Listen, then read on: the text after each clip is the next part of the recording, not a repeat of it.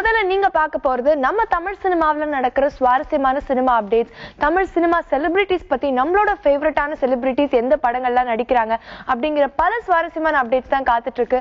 In hashtag Kollywood updates first ஃப்ரேம்ல முதல்ல நம்ம பார்க்க போறது hashtag Aan Devathai.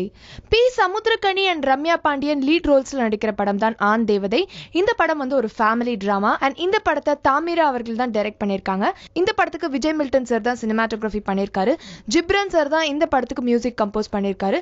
இப்போ இந்த படத்துல இருந்து ஒரு ஸ்னீக் பிக் வீடியோவை இந்த டீம் ரிலீஸ் பண்ணியிருக்காங்க.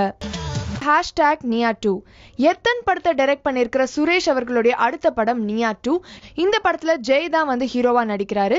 ராய் லக்ஷ்மி கேத்ரின் திரேசா வரலட்சுமி சரத்குமார் இவங்கெல்லாம் இம்பார்ட்டன்ட் கேரக்டர்ஸ் ப்ளே பண்றாங்க. இந்த படத்தோடைய டைட்டில் வச்சே நமக்கு கண்டுபிடிக்க முடியுது. இந்த படம் வந்து பாம்புகள் பற்றி ஒரு படமா இருக்கும் அப்படின்னு சொல்லிட்டு. இந்த படத்தோட ஷூட் வந்து பிப்ரவரி டூ தௌசண்ட் எயிட்டீனே ஸ்டார்ட் பண்ணிட்டாங்க. இப்போ பாத்தீங்கன்னா இந்த படத்துல இருந்து ஃபர்ஸ்ட் சிங்கிள் தொலையுரேன் அப்படிங்கிற ஒரு பாடலை ரிலீஸ் பண்ணியிருக்காங்க. Hashtag Simba சிம்பாங்கிறது upcoming Tamil dark comedy film இந்த படத்தை அரவிந்த் ஸ்ரீதர் டைரக்ட் பண்ணியிருக்காரு. இந்த படத்துல பரத் பிரேம்ஜி பானுஸ்ரீ மெஹரா இவங்கெல்லாம் லீட் ரோல்ஸ் நடிச்சிருக்காங்க. ரமணா இந்த படத்துல சப்போர்ட்டிங் கேரக்டர் ப்ளே பண்றாரு.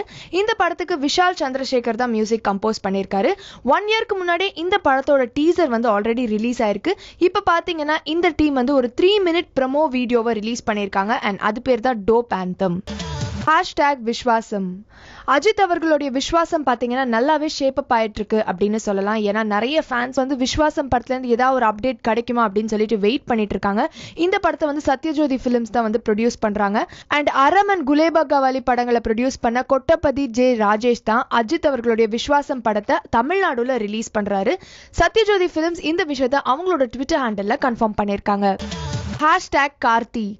கார்த்தி பார்த்தீங்கன்னா இப்போ அவருடைய செவன்டீன்த் ஃபிலிமான தேவ் படத்துக்கு வந்து ஷூட் பண்ணிட்டு இருக்கிறாரு இந்த படத்தை வந்து ஒரு டெபியூட்டன் டைரக்டர் தான் டைரக்ட் பண்றாரு. இந்த படத்துக்கு அப்புறமா கார்த்தி யாரோட இணைய போறாருன்னு பார்த்தீங்கன்னா பாப்பநாசம் படத்தை டைரக்ட் பண்ண ஜீத்து ஜோசப் தான்.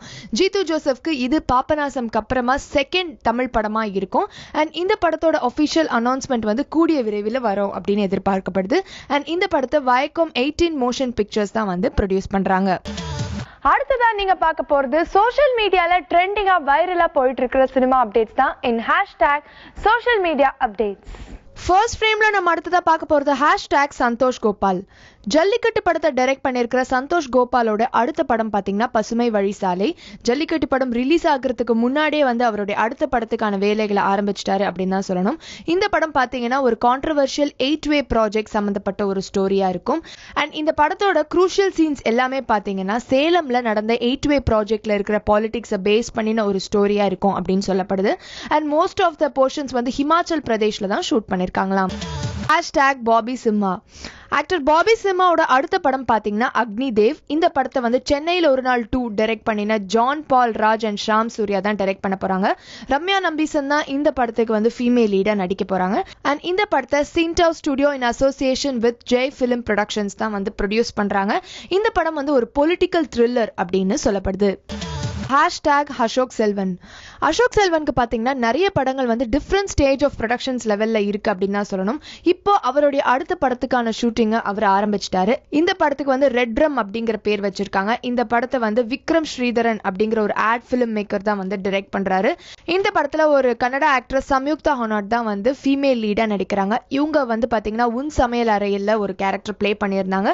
இந்த படத்தில் ஒரு கிட்டாரிஸ்ட் கேரக்டர் ப்ளே பண்ணுறாங்க ஹேஷ்டேக் ரங்கா சிபிராஜ் அண்ட் நிக்கிலா விமல் சேர்ந்து நடிச்சிருக்கிற படம் தான் ரங்கா. இந்த படத்தோடைய ஷூட்டிங் வந்து முடிஞ்சிருச்சான் இந்த படம் வந்து ஒரு ஆக்ஷன் பேக்டு த்ரில்லராக இருக்கும் அப்படின்னு சொல்லப்படுது. இப்போ இந்த டீம் பார்த்தீங்கன்னா இந்த படத்தோட ஷூட்டிங் முடிஞ்சிருச்சு அப்படிங்கிற ஒஃபிஷியல் கன்ஃபர்மேஷன் கொடுத்துருக்காங்க.